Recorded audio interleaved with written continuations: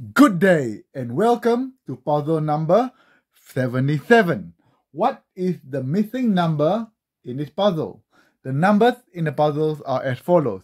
If 6 minus 1 equal to 5, 9 minus 4 equal to 7, 17 minus 9 equal to 14, 23 minus 16 equal to 19, what then is 34 minus 25 equals 2?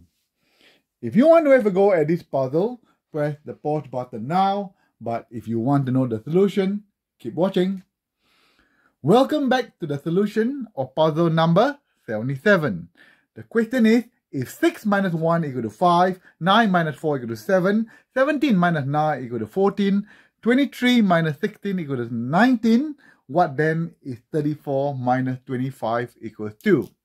As you can see, it's quite difficult. If you if you can get it, it's very simple, okay? So what we're going to do, if you look at the second number, they are all square numbers. 1, 4, 9, 16, 25. They are all square numbers.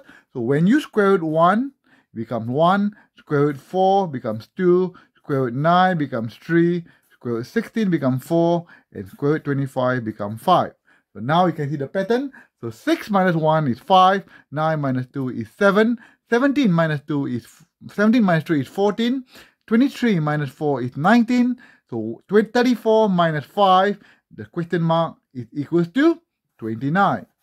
I believe most of you get it right because you guys are geniuses and I'll see you in the next one. Follow for more puzzles. Cheers everyone.